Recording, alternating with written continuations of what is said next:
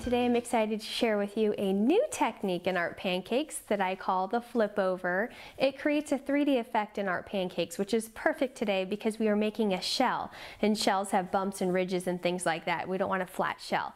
So before we, go, we do that, uh, you probably noticed a lobster in the beginning of the video, which I have a tutorial, tutorial on how to do it on my blog, so check it out. And if you have any prayer requests or you'd like a Bible, please feel free to email me. I will leave my blog address and my email address below. So let's get started. Okay, today we're working on the next reason that people tend to wail and whine, and that's out of selfishness. I know that you guys have heard me say in the past, don't be a selfish shellfish, so that's our theme for today. Now, when I did a little research, I found out that lobsters and oysters are both shellfish, which is why I included them both in the beginning intro. Um, you might also have noticed that the pancake lobster in the intro was just like super interested in grabbing at the word self and like also at this worthless shell.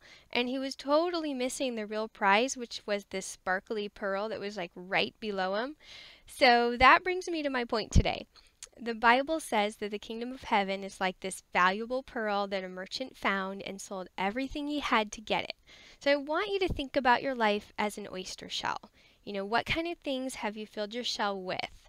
I think we have to really take a good look at what we're spending our time, our money, our talents, you know, our thoughts and our actions.